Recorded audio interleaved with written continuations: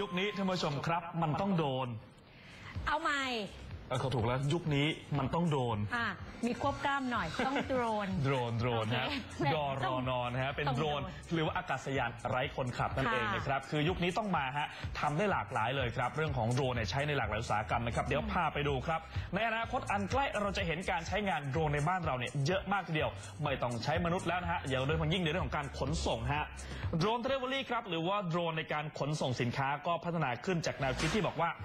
เอ๊ะมันใช้ส่งอุปกรณ์การแพทย์เนี่ยไปพื้นที่แบบไปไกลๆพื้นที่ธุรกันดารนะครับ หรือว่าจุดที่มันส่งแบบปกติไม่ได้ เช่น เป็นภูเขาเป็นเกาะก็เลยพัฒนาโดรนขึ้นมาก่อน จากนั้นเนี่ยพอจากเชิงทางการแพทย์ก็มาเป็นเชิงพาณิชย์ครับ โดยบริษัทอีคอมเมิร์ซบริษัทขนส่งขนาดใหญ่ๆ ใช้ส่งของในพื้นที่แคบๆพื้นที่ไกลๆ แล้วก็ออกแบบให้โดรนเนี่ยส่งของได้อย่างแม่นยำ คำนวณพื้นที่ในการลงจอดได้ แล้วก็มีความปลอดภัยสูง ลดการสูญหาย ลดการเสียหายระหว่างที่ขนส่งได้ด้วยนะครับ แล้วก็ยังมีโดรนกู้ภัยอีกนะ ไปช่วยชีวิตคนที่เจอกับภัยพิบัติได้เร็วมากฮะทั้งทางบกทางทะเลทางอากาศ ทีมแพทย์ฉุกเฉินเองก็ไม่ต้องเสี่ยงเพิ่มขึ้นในการเข้าพื้นที่ไปช่วยเหลือนะฮะ อ่าจากเรื่องของพาณิชย์การกู้ภัยแล้วไปดูสุดท้ายเป็นโดรนเพื่อการเกษตร เราได้เคยได้ยินกันบ่อยนะคะ ระยะหลัง